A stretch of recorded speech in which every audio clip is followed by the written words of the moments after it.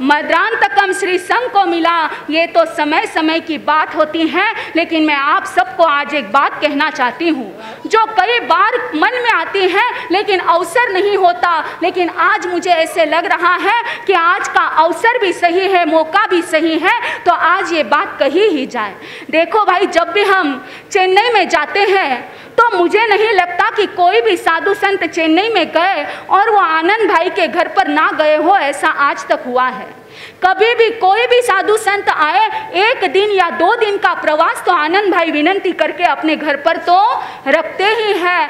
अब हम कई बार जब अप्पा थे, तब से लेकर तो अभी तक कई बार हम जब जब चेन्नई गए हैं, तब तब हम आनंद भाई के घर पर ज़रूर गए हैं। अब आपको एक विशेषता बताती हूँ। हम जब भी आनंद भाई के घर पर जाते थे तो घर के सारे लोग तो हमें मिलते थे, लेकिन एक ही व्यक्ति था जो हमें कभी नज़र ही नहीं आता था। हम जब पहुँचते थे, सुबह विहार करके तो वो सोए हुए रहते थे। हम जब वहाँ पर गोचरे आदि करते तो ऑफ़िस के लिए निकल जाते। दूसरे दिन विहार करते तो भी कभी मिलते नहीं थे। ऐसे कौन थे? कौन थे? हमारे सुमती भैया, जो पहले इतने बार हम उनके घर पर गए, लेकिन सुमती भैया के कभी दर्शन हमको हुए नहीं। पर देखो, प्रसंग कैसा बना कि मौका आया लॉकडाउन का।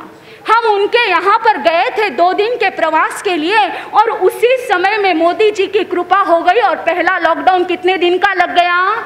21 दिन का लग गया, और हम आनंद भाई के घर में 21 दिन के लिए क्या हो गए?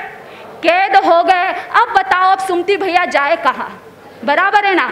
इतने दिन तो ऑफ़िस का बहाना था, लेकिन अब तो हमसे ही पाला पड़ना था, क्योंकि वो भी घर में और हम भी घर में तो हुआ ही ऐसा कि आज तक आनंद भाई तो जुड़े हुए थे, पूरा परिवार जुड़ा हुआ था, लेकिन शायद लॉकडाउन सुमती भैया के लिए ऐसा कारीगर साबित हुआ कि उनका और हमारा आमना सामना हुआ और कहते हैं कोई भी व्यक्ति जब एक बार संतों के सानिध्य में आता है तो थोड़ा तो परिवर्तन उसमें अवश्य होता है। और जिस सुमती भैया को हमने कभी घर जाकर भी नहीं देखा, आज तब से लेकर आज तक मुझे लगता है कि सुमती भैया महीने में दो बार तो हमारे पास में ज़रूर आते हैं, दो बार से ज़्यादा ही आते हैं। ये सब किस वजह से होता है? गुरु की कृपा, बड़ों का आशीर्वाद और आनंद भाई और सुशीला भाई भी हमेशा कहते थे, महाराज साहब, कोई बात नहीं, हम तो हमेशा आते हैं, लेकिन अब ये पीछे की जनरेशन आ रही है तो हमें उसमें क्या है?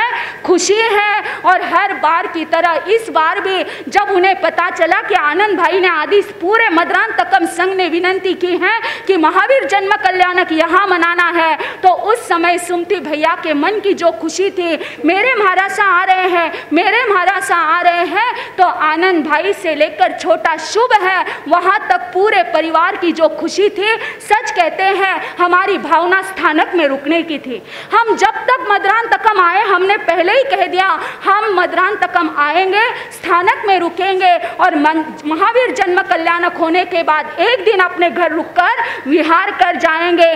पर उनकी भक्ति और उनके भीतर की भावना ने हमें मजबूर कर दिया कि हमने प्रवचन आदि सारे कार्य तो स्थानक में रख दिए और हमारा आवास कहाँ पर रख दिया? छल्लानी के घर पर रख दिया। तो आपको बस एक ही बात कहना चाहती हूँ कि व्यक्ति में परिवर्तन कब होता है, कह नहीं सकते। वो परिवर्तन की घड़ी कब किसके जीवन में आ जाए, वो कह नहीं सकते। इसीलिए सत्संग करते रहिए और अपने जीवन का परिवर्तन लाते रहिए। आज समस्त छल्लानी परिवार को बहुत बहुत साधुवाद देते हैं और साथ में मद्रान तकम श्री संघ को भी बहुत बहुत साधुवाद देकर अपने शब्दों को विराम देती हूँ। ओम शांति।